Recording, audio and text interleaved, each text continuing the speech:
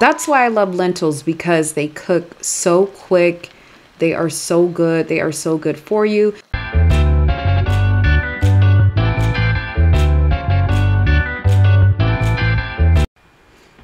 Hi everybody, in today's video I'll be showing you how to make this easy vegan lentil soup. I used my Dutch oven, but sometimes I use a slow cooker, but this was a weeknight so I needed to cook this kind of quick, so I used my lovely Dutch oven.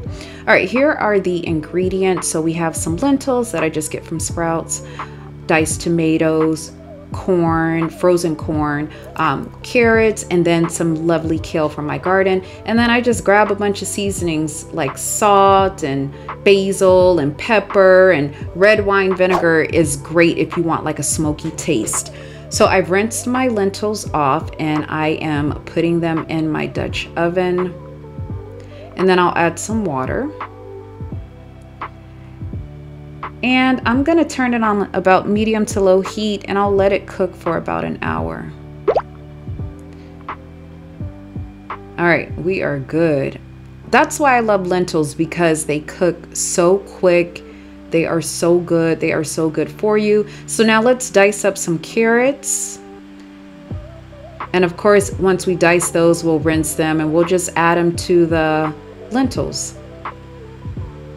All right, so the lentils cooked. The water kind of went down a little bit, but that's fine because the juice from the diced tomatoes will add some water back to it. We have our carrots that we cut up. We have our frozen corn. Now you notice I'm not really measuring anything. If you want measurements, I linked a lentil soup down below.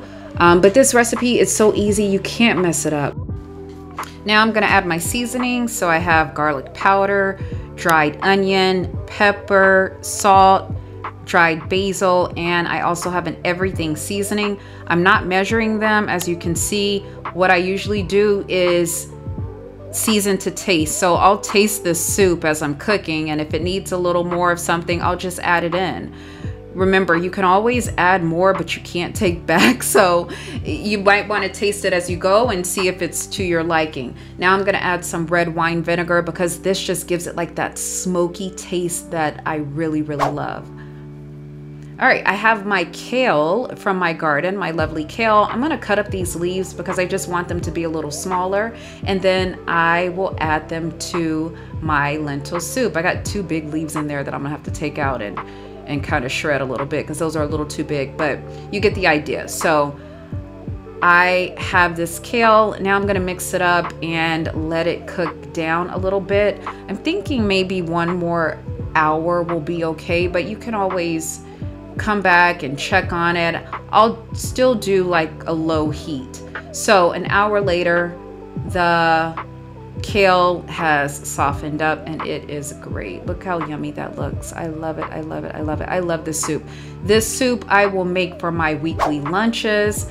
It freezes well. Sometimes I'll eat it for lunch and dinner. I just love it. It's so easy. It's very cheap to make. It goes well with these tortilla chips here. Uh, Siete grain free. Oh my gosh, these are so good. So I'll eat the soup with that.